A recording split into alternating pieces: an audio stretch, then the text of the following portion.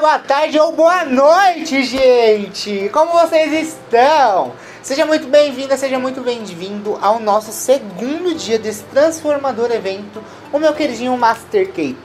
Antes de mais nada, me conta aqui nos comentários o que você gostou da nossa aula de ontem. Vai falando aí, já comenta, me fala também teu nome e da onde você fala, porque eu quero muito saber até onde a gente está chegando. Aproveitando, já vou dizendo que se você não assistiu ao primeiro dia, vá lá agora assistir, porque é muito importante e segue toda uma linha de raciocínio, tá bom? Ontem a gente conversou sobre massas, a diferença entre cada uma delas e, fazer, e fizemos uma massa surreal de perfeita. Além de contar toda a minha história e te mostrar que te mostrar com ela que o caminho para o sucesso é único e basta apenas investir em aprendizado colocar em prática e persistir, que super vai funcionar e super vai dar certo. Falamos também de recheios, os tipos que eles têm, os deliciosos tipos e quais são eles, quais são as diferenças, as diferenças entre eles e fizemos um recheio perfeito de ganache que aqui está, nós vamos utilizar hoje.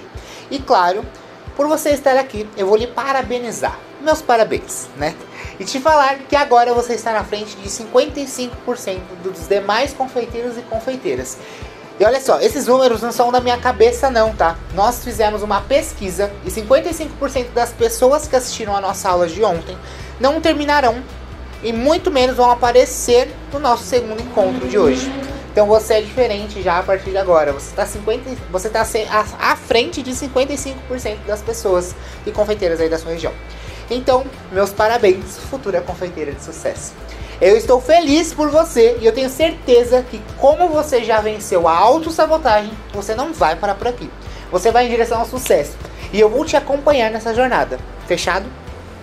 Confia em mim e eu não vou largar sua mão nunca mais. Bora junto? Olha só, no nosso, no nosso encontro de hoje vamos conversar sobre estruturação, montagem e vou revelar aquele segredo dos empresários e confeiteiros de sucesso, de sucesso que mudaram o jogo deles. Bom, antes da gente falar sobre bolos, eu queria propor um exercício rápido e prático para você. Há mais ou menos 5 anos eu escrevi uma carta para mim mesmo, para eu ler no futuro, né? A carta para você mesmo. Talvez você já conheça esse exercício. Nessa carta eu escrevi como eu gostaria de estar daqui a um tempo, determinado tempo. Tudo que eu queria, em todas as áreas da minha vida, profissional, familiar, como eu gostaria de estar comigo mesmo, meu corpo físico, meu financeiro, tudo, tá? E joguei para o universo. Isso se chama, isso se chama a lei da atração. E para que a atração ocorra, você precisa expor, seja através da fala ou da escrita. Além, claro, do pensamento sempre ali presente e marcante. Por isso, agora, pegue uma folha uma folha qualquer aí e uma caneta. Pega agora. Escreva agora como você quer estar daqui a um ano. Escreva com riqueza de detalhes.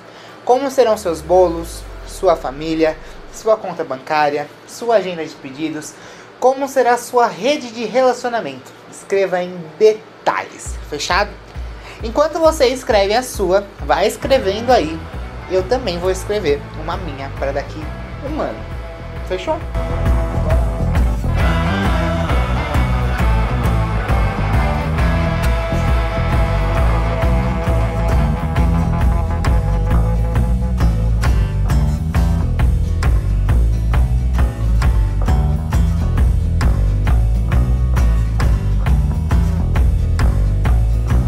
Bom, já escrevi aqui. Agora, pega esse papel e dobre. Eu quero que você dobre e guarda ele até o nosso final do evento, tá? Que ele vai ser muito importante para a sua vida e para o seu futuro. Aqui está o seu futuro. Bom, bora lá? Vou deixar aqui, ó, o meu exatamente aqui, ó. Vou guardar com todo carinho. Bom, lembra do nosso conteúdo de ontem? A nossa massa e nosso recheio, eles estão aqui. Aqui está a nossa massa, né? Perfeita. E aqui está o nosso recheio. E agora vamos montar um bolo lindo e estruturado. Por isso, eu preciso te ensinar um pouco sobre estruturação e montagem. Primeiro de tudo, o que você precisa ter em mente é que existem diversos métodos de montar um bolo de forma segura e, de, e a forma que você vai utilizar é, aí na sua produção é você que vai definir. Aqui a gente vai fazer um bolo na montagem que a gente chama de montagem à mão livre com acetato, onde a gente monta o bolo direto no tabuleiro é, e abusa da, da gravidade para fazer que o, que o, bolo mesmo se assente por cima dele. Você vai ver na prática vai ser mais fácil. Fala aí nos comentários qual é o tipo de montagem que você curte usar. E é claro que aqui tá faltando alguma coisa, né, gente? O que é que tá faltando? A cauda. Ele é um pilar importante do preparo e da montagem em geral. E ao mesmo tempo que a cauda ajuda na estrutura, ela também pode comprometer todo o bolo, porque é muito importante a dosagem. Eu gosto mesmo de uma massa bem molhadinha, é, bem úmida, aquela que a gente pega até explode aquele sabor na boca. Mas isso é gosto. Me diz aí também como é que você gosta de um bolo. Você gosta de um bolo mais molhadinho, um bolo mais sequinho, meio termo? Comenta aí que eu tô de olho em todos os comentários, achou? Bom, bora pra calda? Pra fazer a calda, eu tenho aqui dois ingredientes. Eu vou te ensinar a fazer eh, essa calda bem tradicional e bem, e bem fácil. Dois ingredientes: água filtrada e leite condensado. Na realidade, são duas partes de água. Eu vou colocar aqui, ó, direto no meu dosador, onde eu molho o bolo. E leite condensado. Eu gosto de colocar água primeiro, porque assim dessa forma o leite condensado não gruda no fundo e se mistura melhor. É muito bom dessa, desse jeito. Vou pegar um pedacinho de plástico aqui, ó.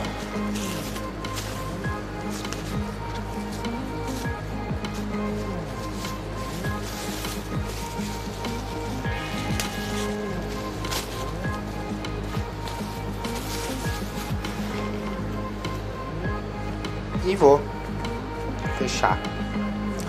Como não passa de mágica, uma criança, talvez de dois anos, conseguiria fazer essa calda. É só chacoalhar até essa parte de misturar. Fácil assim, gente. Então bora começar a montagem, né? Bom, pra gente começar, a gente vai começar cortando os discos de massa. Eu já deixei aqui cortado alguns e eu tenho um disco que eu ainda não cortei. Aqui os discos serão de aproximadamente 2,5 cm de altura. Eu tenho aqui um nivelador. Você pode cortar com uma faca de serra.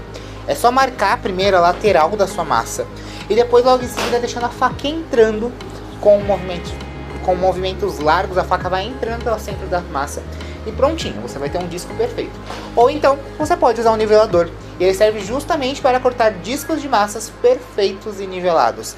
Eu posiciono ele aqui, ó, faço movimentos largos também. Ele fica perfeito. E você pode notar que ele vem com essas ranhuras. Não sei se dá para ver bem na câmera, mas são ranhuras que a gente consegue colocar a altura da massa. Ali tem dos dois lados. E é muito bom. Durante a minha produção, as gravações, eu acho muito mais prático trabalhar com nivelador. Ele nos promove uma, uma padronização muito maior nos nossos discos de massa. Para usar o nivelador, é só segurar a massa e passar ele, fazendo os movimentos largos como eu mostrei aqui para você. É bem tranquilo. E o próprio movimento se encarrega de cortar de fato a nossa massa. Esse topinho você pode utilizar para fazer outros bolos, outros preparos, bolo de pote, cake pop, é, ou o que você achar melhor, tá? Pra, ser bem sincera, isso aqui é uma maravilha, tá? Sendo sincera com você, sendo sincero com você, isso aqui é uma maravilha, tá? Agora, com discos perfeitos e calda pronta, eu vou colocar o meu recheio no saco de confeitar. Enquanto isso, eu queria dizer que a nossa aula de hoje também resultará em um material em PDF muito lindo, feito especialmente para você. Assim, para você abrir esse e-book, é Eu Faço Parte de uma Comunidade. E olha que essa senha tem um significado bem grande também, que é aquele tal segredo dos empresários e confeiteiros de sucesso, sabe? Mas segura a ansiedade, que eu já vou te contar. Bora montar esse bolo então? Então eu vou pegar aqui, ó, a nosso saco de confeiteiro, vou cortar aqui ele mais ou menos na espessura que eu quero que o meu recheio fique. Encher o saco. Olha o nosso ganache depois de descansado, que lindo que fica, ó. A textura dele fica perfeita para recheios. Eu adoro. Certo? Então bora lá. Vou colocar aqui, ó, meu recheio no saco. Lembrando que aqui ele está em temperatura ambiente.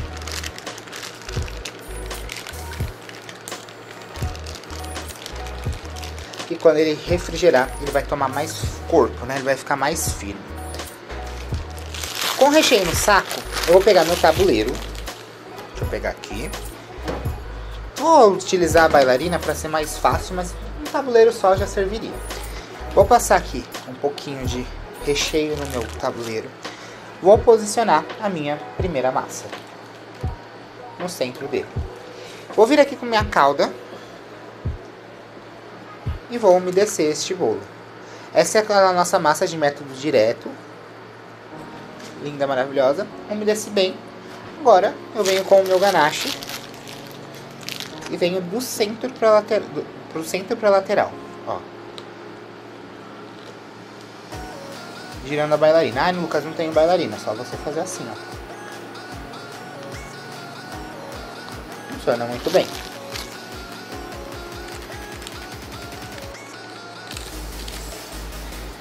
Bom, feito isso aqui, o que, que eu vou te aconselhar a fazer? Eu tenho aqui um saquinho de congelado. Eu vou abrir esse saco de congelado. Se você quiser, você também pode utilizar é, filme plástico. Funciona também, mas o saco de congelado aqui funciona muito melhor. Eu vou abrir as duas laterais dele para deixar ele mais comprido. Olha só. Deixa eu abrir.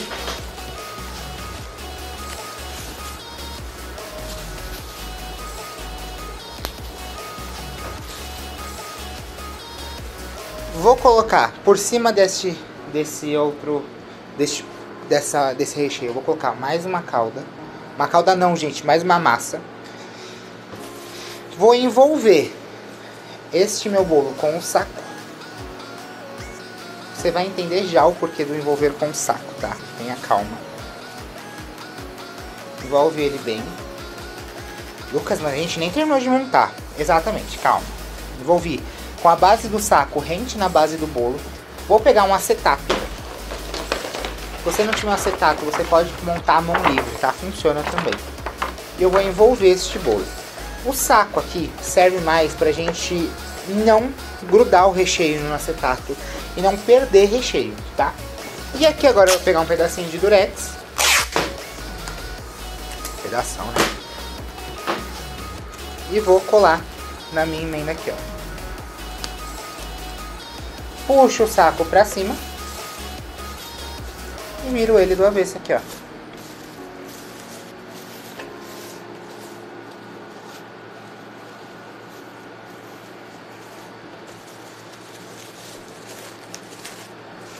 Se você quiser, você pode usar forma também. Se a sua forma for alta, funciona.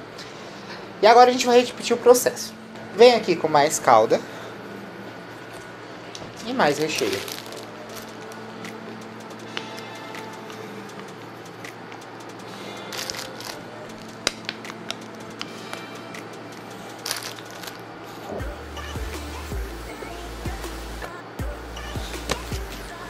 Agora a gente vem com mais uma camada de massa.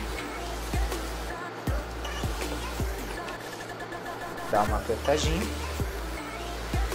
Mais calda. Vou encher o saco novamente aqui. Este recheio ele dá exatamente o bolo inteiro. Lucas, mas como assim? Não vai sobrar nada de recheio? Não. Para montar esse bolo e saber as proporções certinhas, eu utilizei uma planilha, que é o bônus maravilhoso do Manual do Bolo Perfeito, que ele te dá exatamente quanto você precisa de recheio, de massa, de cobertura para você fazer seu bolo. Tudo, inclusive a calda. Então, vem aqui, ó. Vou colocar aqui o recheio.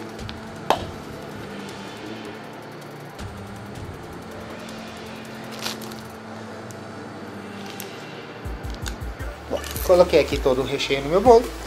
Vem aqui, ó, com a parte que fica para baixo da forma e coloco para cima. Formando assim o nosso bolo montado. Calda. Nessa última parte aqui eu gosto de dar uma caprichada a mais.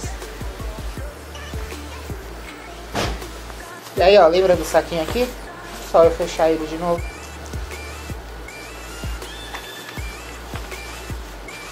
E levar para gelar. Depois que esse bolo gelar por aproximadamente 6 horas, você vai poder decorar.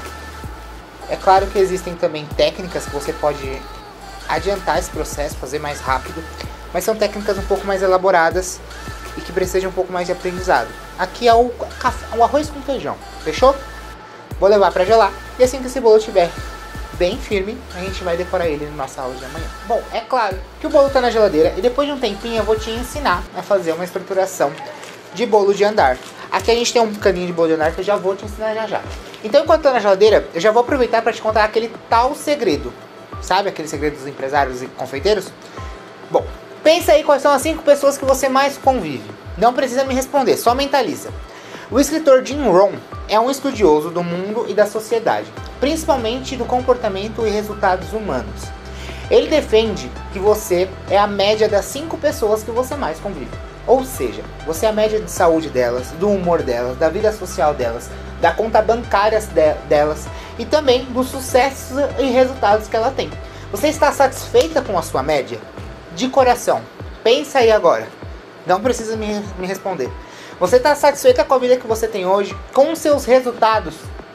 Gente, minha vida e meus resultados mudaram quando eu conheci e, e passei a investir em busca de pessoas que realmente têm sucesso.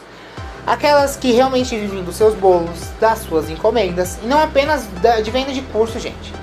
E não ficam aqui enchendo linguiça só para te ensinar o que nem praticam. Além, claro, de buscar por ciclos de pessoas novas e isso, gente, meio que foi automático. Eu sempre quis estar onde eu estou hoje. Meu ateliê, que é, tudo. Mas a minha mentalidade para atingir esse objetivo só mudou e veio com muito, muito, mas muito mais facilidade logo após eu me, unir com pessoas que têm o mesmo propósito de vida como o meu. Confeiteiras referências, confeiteiras do topo, grandes nomes da confeitaria de verdade. Não aquela confeitaria de Instagram, minha gente. As confeiteiras de sucesso mesmo. E como eu comecei a fazer isso?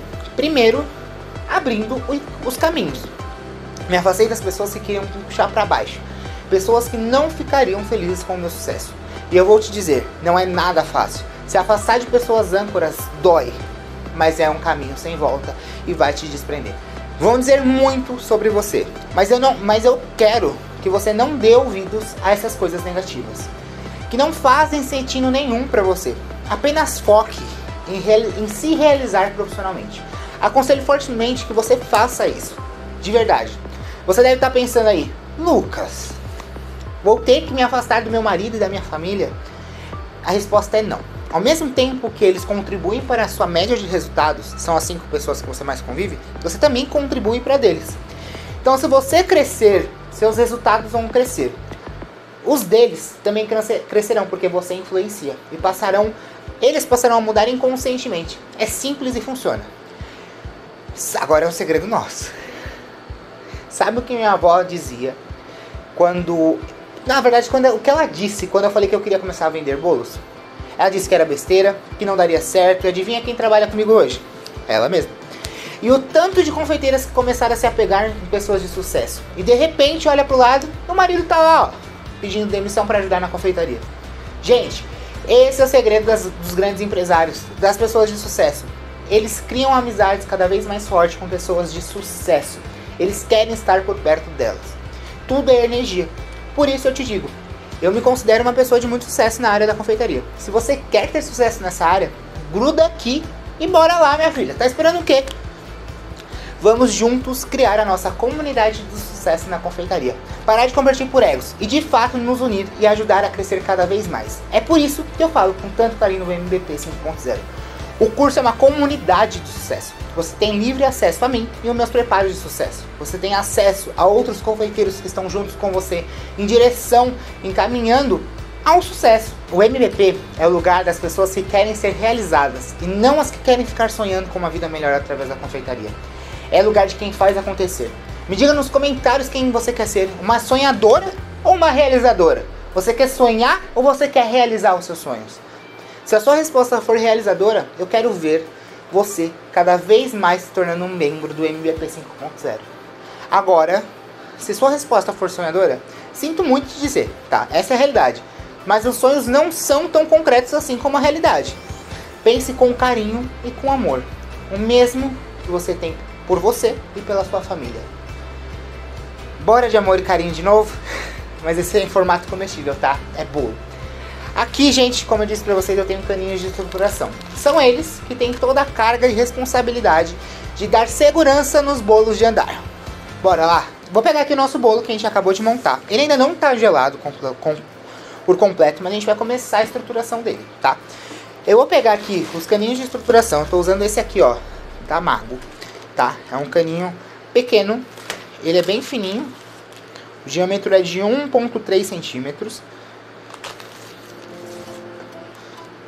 E eu vou usar ele para estruturar meus bolos. Vou abrir aqui, ó, novamente. E eu sei que aqui em cima do meu bolo vai um bolo de 10 centímetros de diâmetro. Ele vai ser um bolo de andar no final das contas. Então, eu vou pegar aqui, ó, e vou começar a colocar os meus caninhos de estruturação aonde eu imagino que o meu bolo vai ficar aqui em cima. Então, se você quiser, você até pode pegar algo 10 centímetros de diâmetro e riscar a base né, do bolo aqui no, no seu bolo de cima, para você saber onde você coloca. Aqui eu vou pegar, vou puxar esse cano, ó, e eu marquei com o dedo aonde que eu devo cortar. Exatamente na altura do bolo, sem deixar desnível, tá vendo? Para que não afunde o meu bolo aqui. O bolo de cima não pode afundar no bolo de baixo. Então por isso que a gente faz isso.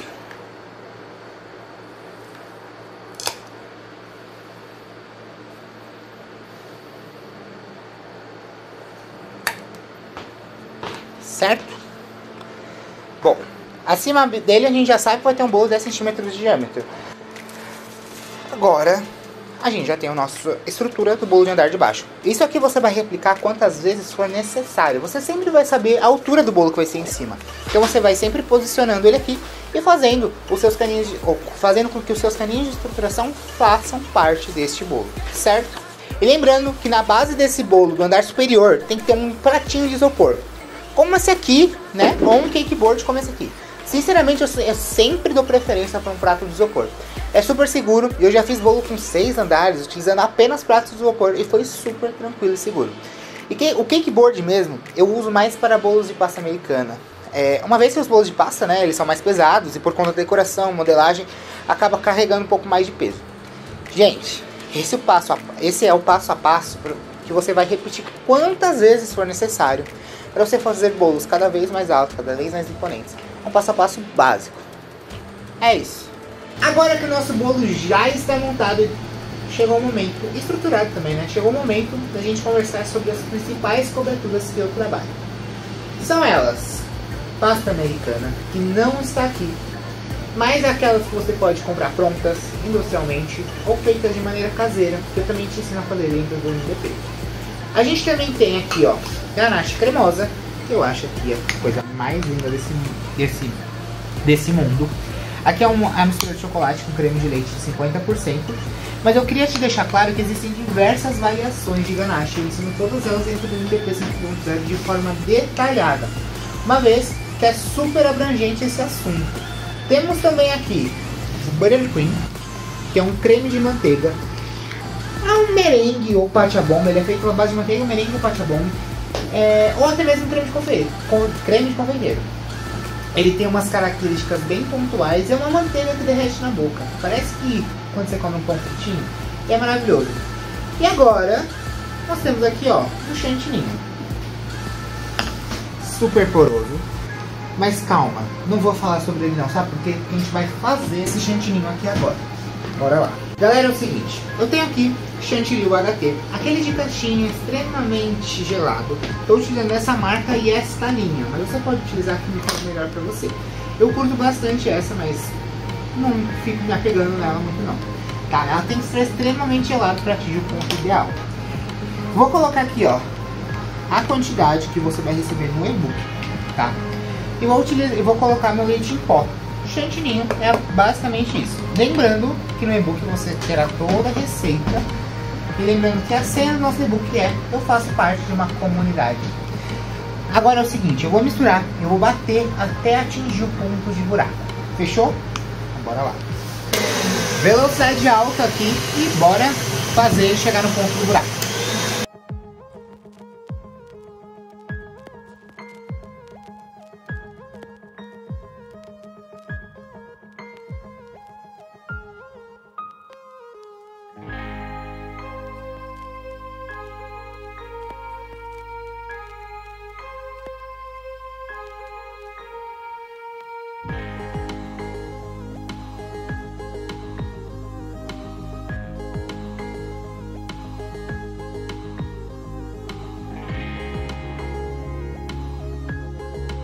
E olha só, o ponto do buraco é quando a gente começar a bater e ele formar esse buraco lá dentro. Olha só. Forma um buraco. Fica um buraco no centro do globo, do, do bowl, e o bowl, o globo da batedeira fica cheio de chantininho. Olha só. O nosso chantininho aqui ele está extremamente... Ui! Bate demais. O nosso chantininho aqui está extremamente firme e maravilhoso. Agora, a gente vai... Não pode, não dá pra gente usar ele até agora. A gente tem que deixar ele descansar pelo menos uns 10 minutinhos. Porque senão a gente vai ficar hidratando, hidratando, hidratando. A gente vai hidratar como se não houvesse amanhã e a gente não vai ter um bom resultado. Ó, tem aqui o chantininho, bem firme, né? E esse chantininho vai descansar na geladeira por 10 minutos. Então eu vou levar todo ele coberto, né? Vou usar esse saquinho aqui, ó, congelado para cobrir o meu chantininho, porque ele não pode ressecar também. E aí depois de um tempinho na geladeira, esse chantininho na verdade a gente vai usar amanhã no nosso encontro, mas esse, esse chantininho aqui, ele vai ficar poroso como esse daqui, ó, que eu acabei de mostrar pra você. Depois de ele ficar um tempo na geladeira poroso, a gente vem aqui, ó, dá umas amassadinhas nele, dá uma misturada, ele volta a ficar cremoso, numa cremosidade absurda, com um sabor incrível e com uma textura bem lisinha. Olha só, coisa linda.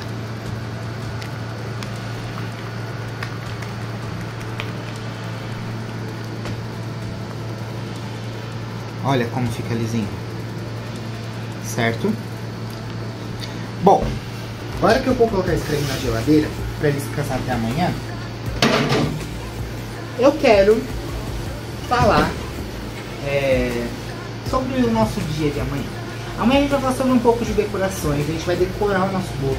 Eu vou te dizer os últimos passos para você ter mais segurança e mais beleza nos seus bolos. E eu tenho certeza que como você já chegou até aqui, não vai hesitar em voltar amanhã.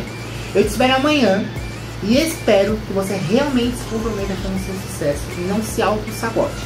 A gente está junto criando uma comunidade linda de sucesso, tá? E se você se sujeitar a faltar amanhã, saberemos que você realmente não estará tão comprometida com a vida e com a mudança que você quer ter, certo? Eu te espero amanhã, um beijo no seu coração e eu fui. Tchau!